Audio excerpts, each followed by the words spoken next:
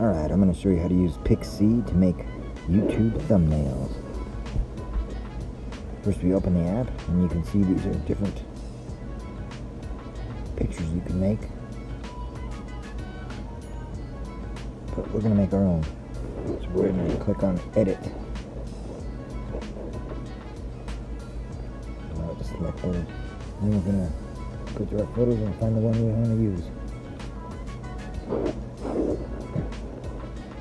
Once you find the one you want to use for your thumbnail, you open it. We can add words, titles. You can change the size. You can adjust the position. You can change the font. Once we've decided on our font, we can change the color, we can change the shadow. We can even change the rotation. There's different effects we can use. We can turn up the shadow, turn down the shadow.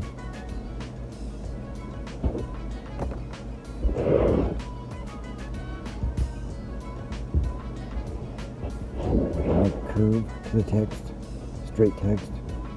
You can adjust alignment. You can spread the letters out. Make it bold. And they also have 3D effects where you can rotate the lettering any way you want. So you wanted to, to see birds right on the bird's belly or something. Figure out what the angle is you want it to sit at. Change its shape, change its size, and slap it on the bird's belly like a tattoo.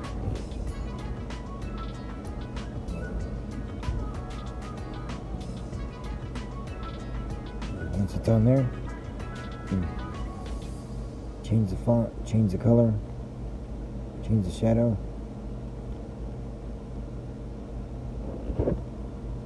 There's a lot you can do with that 3D editor. You can make any kind of thumbnail you want for your YouTubes. Then they have basic stickers and you can add stickers to your pictures or there's other effects.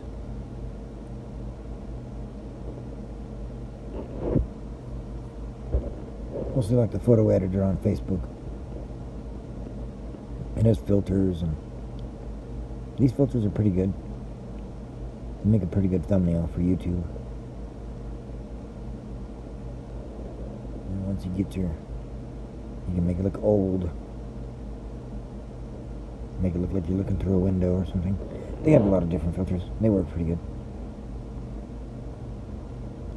They have blur filters color filters. Once you get all that figured out you can save it. Then you can share it to Instagram, Facebook, YouTube